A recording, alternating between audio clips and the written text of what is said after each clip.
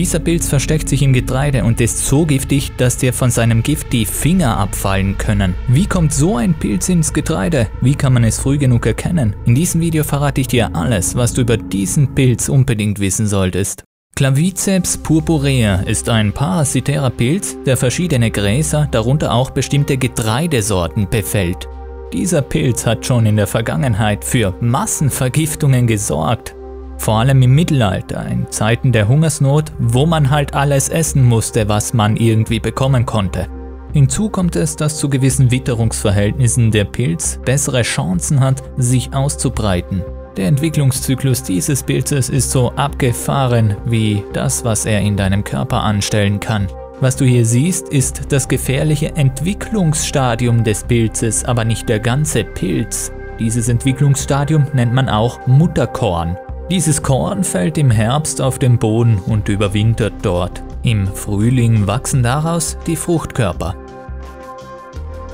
Also das, was wir uns unter einem Pilz vorstellen, ist eigentlich nicht der ganze Pilz, sondern nur der Fruchtkörper. Das, was wir essen, sind die Fortpflanzungsorgane der Pilze.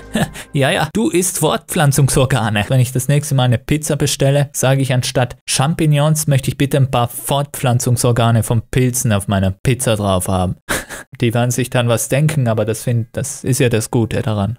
Diese Fruchtkörper bilden dann Sporen. Die Sporen der Pilze sind sowas ähnliches wie die Samen einer Pflanze. Wenn diese Sporen dann auf das Getreide gelangen, kommt es zu einer Infektion. Der Pilz wächst in der Blüte des Getreides und bildet so eine klebrige Masse, die man auch Honigdau nennt. Danach entwickelt er sich weiter zum Mutterkorn und fällt dann wieder zu Boden und dann beginnt der ganze Zyklus von vorne. Ja, und dieses Mutterkorn ist eben das gefährliche Entwicklungsstadium des Pilzes, weil es durch einen dummen Zufall in unsere Nahrung gelangen kann und weil es verdammt giftig ist.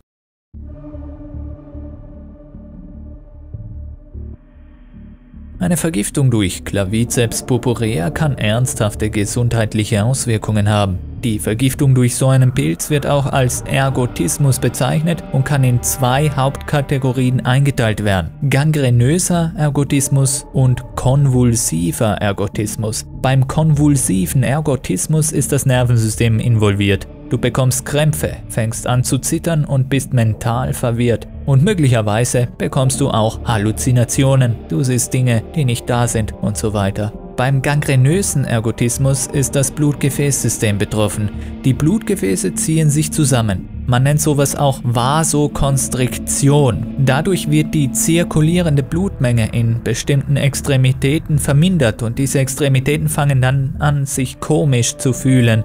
Sie fangen an zu kribbeln und zu brennen oder stark zu schmerzen. Die zirkulierende Blutmenge in den Extremitäten kann so weit herabgesetzt werden, dass es zu Gewebeschäden kommt, weil das Gewebe keinen Sauerstoff und keine Nährstoffe mehr bekommt und es dann nicht überleben kann. Auf diese Weise kann man in sehr schweren Fällen sogar Finger Finger oder Zehen verlieren. Nun fragt man sich vielleicht, was macht diesen Pilz so giftig? Was ist da drinnen, was deinen Körper so zurichten kann?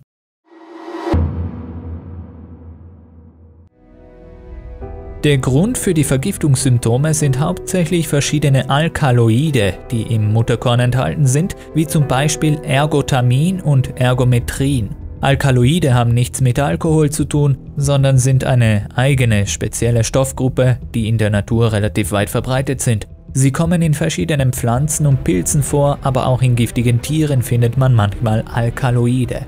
Diese Stoffe sind dadurch gekennzeichnet, dass sie eine pharmakologisch aktive und manchmal auch eine toxische Wirkung haben, je nachdem, in welcher Dosis man sie verabreicht bekommt. Ein Alkaloid wirst du vielleicht sogar jeden Tag zu dir nehmen, und zwar das Koffein aus dem Kaffee. Ein anderes sehr bekanntes Alkaloid ist das Nikotin aus der Tabakpflanze. Wenn wir also Kaffee trinken und Zigaretten rauchen, führen wir unserem Körper eigentlich Gift zu.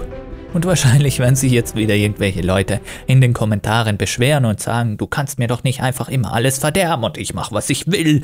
Ja, und du hast mir gar nichts zu sagen, was ich hier zu konsumieren habe. Wisst ihr, ihr könnt das machen. Ich bin nicht euer Vater, okay? Von mir aus könnt ihr euch grün und blau rauchen und Pilze essen, bis sie euch an den Ohren wieder rauswachsen. Ist halt so.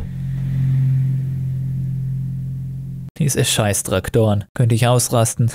Zu erwähnen ist hier natürlich, dass die Dosis das Gift macht, wie ich schon vorhin angedeutet habe. Es ist beim Kaffee zum Beispiel ein Unterschied, ob du den literweise trinkst oder nur eine kleine Tasse am Tag zu dir nimmst. Und genau so ist es auch bei den Toxinen dieses Pilzes. Je nachdem, welche Konzentration an Giftstoffen du aufgenommen hast, können die Symptome, die die Vergiftung hervorruft, von unterschiedlicher Intensität sein. Das muss nicht immer sein, dass dir gleich die Finger abfallen und du Einhörner rumlaufen siehst, draußen auf der Wiese. Ja? In sehr geringen Mengen können die Gifte dieses Pilzes sogar eine therapeutische Wirkung haben. So konnte man diese Stoffe zum Beispiel als Geburtshilfe einsetzen, weil sie eine Kontraktion der Gebärmutter fördern und Blutungen reduzieren können, die während der Geburt auftreten. Oh Gott, bin ich froh, dass ich keine Frau bin, ey. Danke, Mutter Natur, dass du mich mit einem männlichen Geschlechtsteil gesegnet hast. Einfach ein bisschen Dankbarkeit im Leben zeigen. Das Ergotamin aus Claviceps purpurea kann bei Migräne eingesetzt werden, weil es die Blutgefäße im Gehirn zusammenzieht und sich das irgendwie positiv darauf auswirkt. Es gibt noch weitere Möglichkeiten, die Komponenten dieses Pilzes in der Medizin einzusetzen. Wichtig zu erwähnen ist aber, dass in der heutigen Zeit in der Regel diese Stoffe synthetisch im Labor hergestellt werden und dann ein bisschen chemisch modifiziert werden, damit sie nicht mehr so gefährlich sind. Das Tückische an diesem Pilz ist, wie gesagt, dass er sich einfach so in unsere Lebensmittel einschleichen kann. Ein Landwirt kann die Wahrscheinlichkeit auf eine Pilzinfektion in seinem Saatgut vermindern, indem er für eine hohe Artenvielfalt auf seinem Feld sorgt, verschiedene Pflanzenarten anbauen, Legesteinmauern errichten und schauen, dass es ein möglichst vielfältiger Lebensraum wird. So kann sich der Pilz nicht mehr so gut ausbreiten. Stichwort Artenvielfalt. Ja, das ist das, was ich in diesen Videos immer wieder predige. Schützt euch selbst, indem ihr die Artenvielfalt schützt. In der Lebensmittelindustrie werden ziemlich gute vorbeugende Maßnahmen getroffen. Das Saatgut wird mit verschiedenen Methoden gereinigt. Und dann gibt es noch spezielle Maschinen, die die unterschiedlichen Farben des Saatgutes erkennen und dann die Mutterkörner raussortieren können, weil die ja anders gefärbt sind als das Saatgut.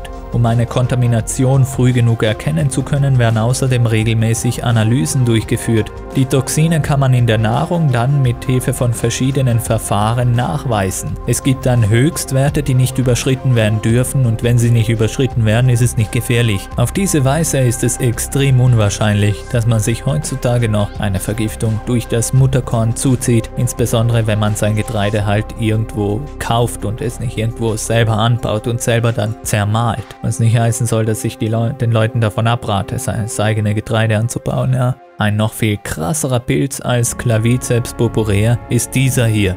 Der Cordyceps-Pilz ist in der Lage, die Kontrolle über das Verhalten seiner Opfer zu übernehmen. Wenn du sehen willst, was er alles anstellen kann und ob er auch für Menschen gefährlich ist, schau dir gerne das Video an, das ich dir hier im Abspann vorschlage.